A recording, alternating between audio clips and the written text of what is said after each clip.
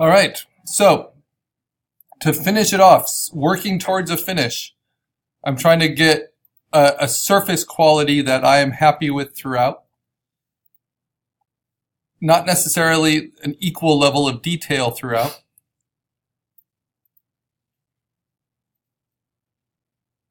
And so I just want to kind of uh, see it from a distance and kind of touch all aspects of it with my hand and my brush whether it's at a low opacity or a high opacity. Because now I have a lot more visual information, right? A lot more color choices and pixels that I have done all by hand that I can steal from and use. And every time I do it with a lower opacity, I am creating more.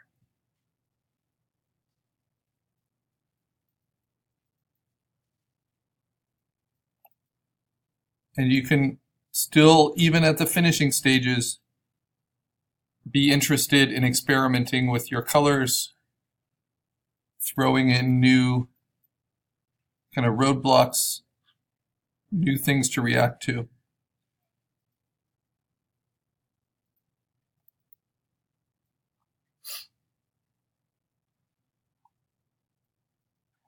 And if you're lucky, you weren't kind of schizophrenic through your process of trying to figure out what you wanted.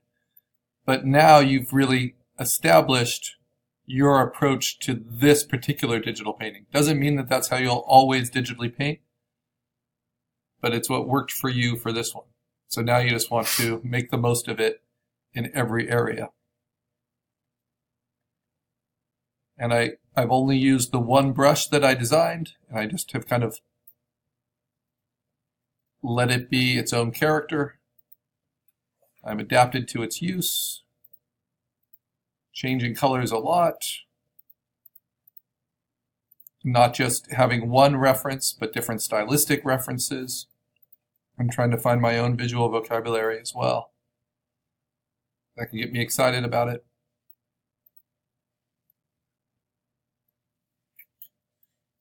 And just like when we're using dodge and burn, or just like when we're using a lot of the tools digitally, we have a tendency uh, to overdo things.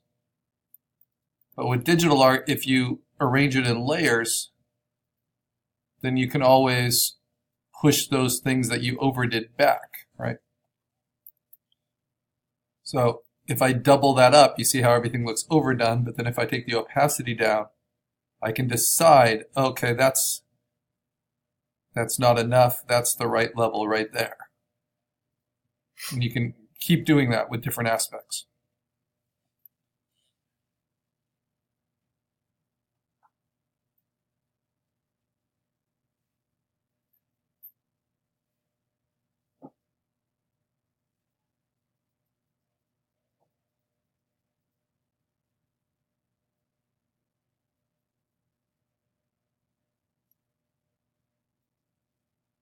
I'm just going to zoom in really quickly so you can see. You can use the navigator for that.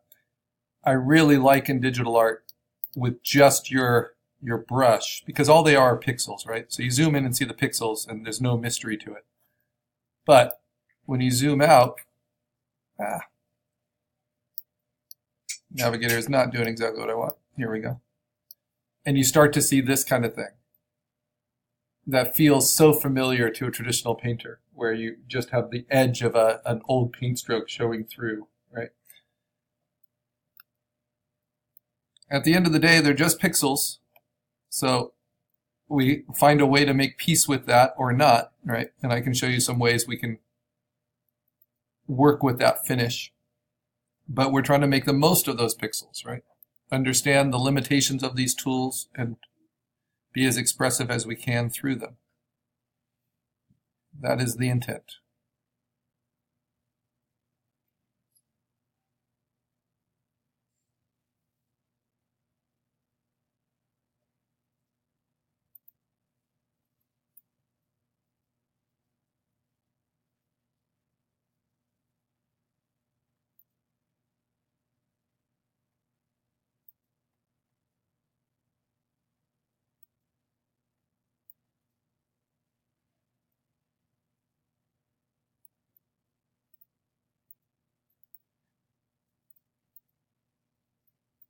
And even though kind of your own color choices,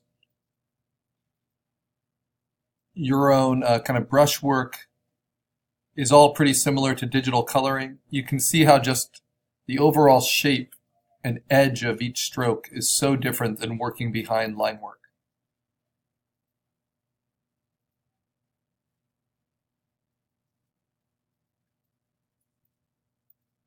So that to me is kind of the essence of the difference. Whether you're willing to change your shapes at any time or not.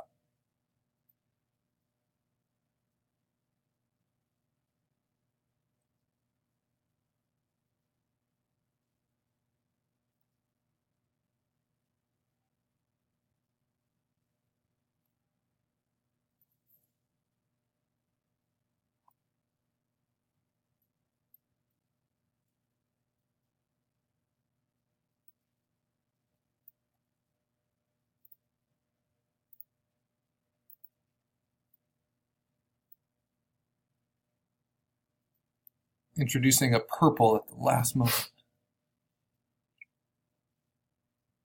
Direction of his hair doesn't quite work with the way that the hat is sitting. So remember that you can paint on the outside as well and kind of cut it out.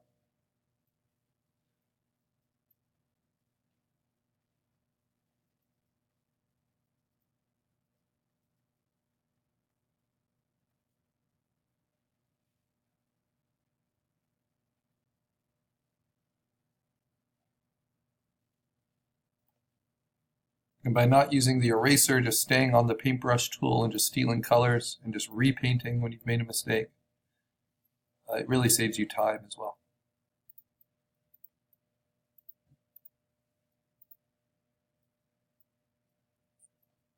Okay, so before I start getting overly detailed and just kind of fixing things that don't really need fixing, adding things that don't really need to be added, even while I'm doing it and can't stop myself. Um, it's a good time to remind yourself that digital art has more approaches than just directly putting down pixels. So let's play with some of those. Again, let's add some chaos into our process. Why not?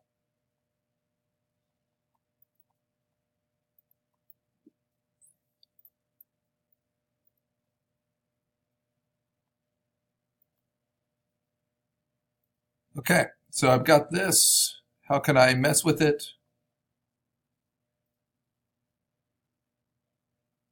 A few more kind of scribbly lines here. Suggest details.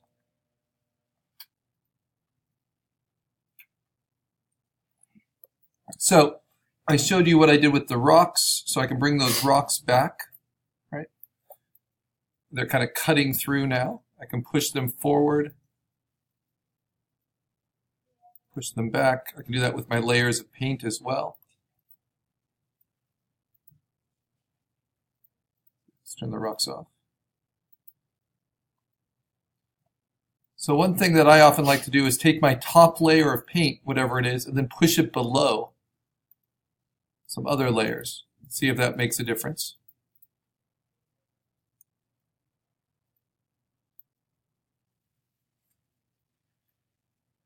And what do I like more? Sometimes that can reveal kind of sketchiness coming through, which is helpful.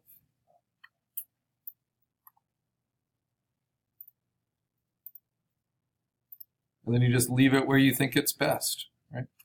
So it leaves a little bit of accidental accidental nature. So now my refined painting is a little bit under some of the other sketchier layers.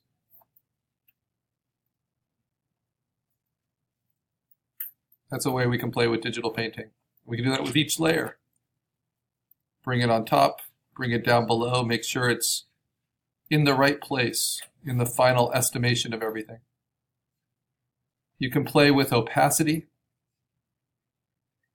you know, kind of keep things softer.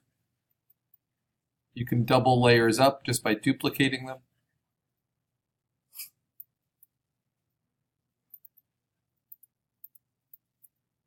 You can turn layers off.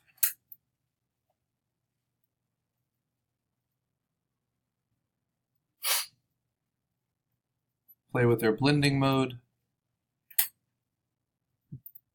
But the problem with that is it erases your individual stroke, right? So to me, that's a problem. If it's all kind of blended together with, with something else.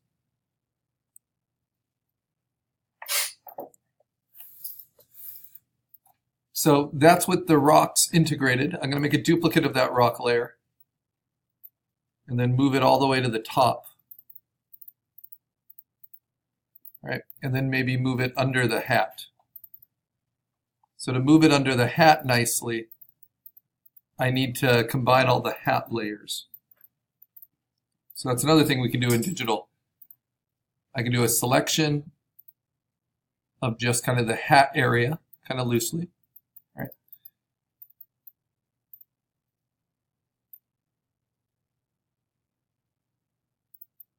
I can take all the top layers where I might have worked on the hat, put them into a group together, right? Command J that group so it's duplicated. Right click and merge that group so it's flattened all into one layer. And then duplicate the hat from there just to get kind of a hat on its own layer, right? Like that with all my painting.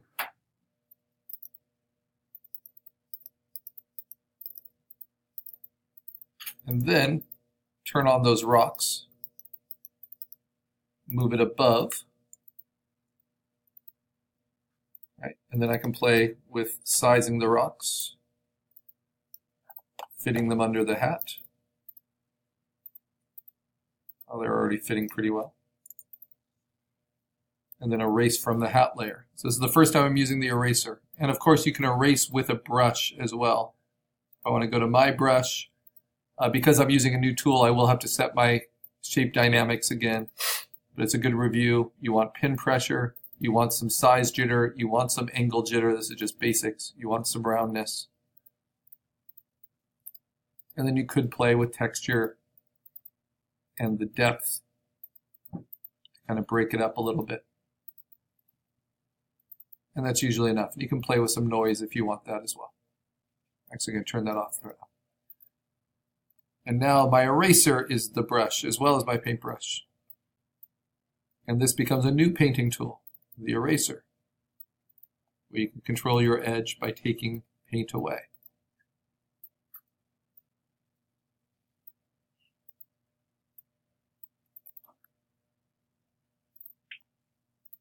Okay, so now I'm going to go on top of the rocks with a new layer.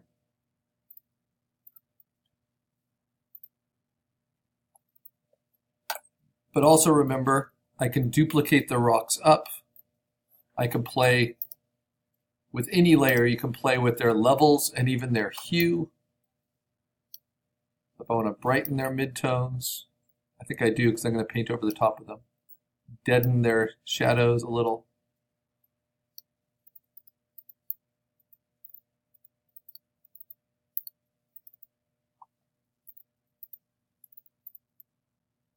And now I kind of know the, the way I paint, right? And I know the colors, I can steal them directly. So I'm just going to kind of graffiti these rocks.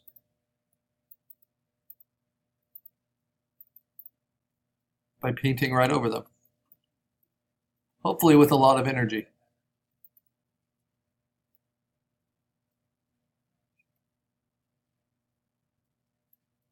this is on a new layer.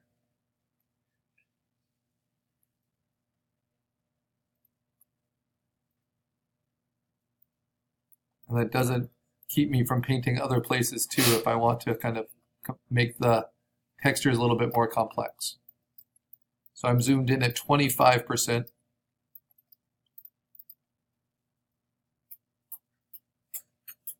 I don't want to ever go beyond 100%, then I'm just wasting time.